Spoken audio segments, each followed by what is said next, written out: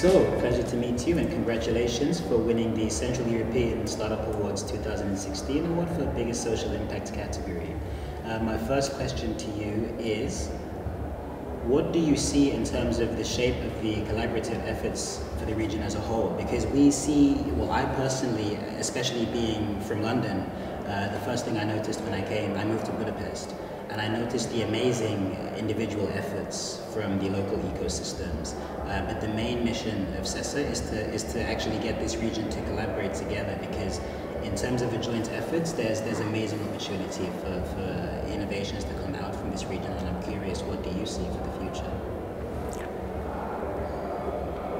As you know, we are in the educational uh, uh sector and uh, still the education, you know, is um, it's very conservative, yeah. So when we compare the education to the like to e-commerce, and it's there's you know like still huge way to go. So uh, we strongly believe as a Brainly uh, that we already start to change this conservative uh, approach to the education to to be more in the online. So in the future, um, education will be returned to the personalized education.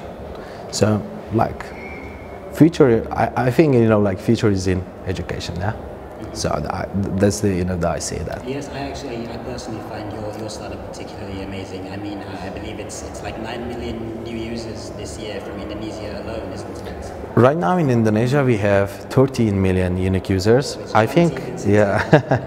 I think when they, uh, when the guys uh, send the information to here, I think at the time was in that number, but right now it's like 13 million unique users for the Indonesian market. And what would you like to see your company and its initiatives achieve, let's say one year from now? Let's say you were sitting here in, in CES Awards 2017 in the same chair, where, where, how would you like to have seen yourself grow?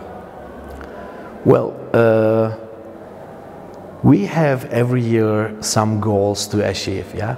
So the, for 2017, our goal for Indonesia to grow 40 percentage from now, like which means it's like 16, 17 million more unique users. Yeah, because Indonesia is huge, and we still uh, can go far in Indonesia.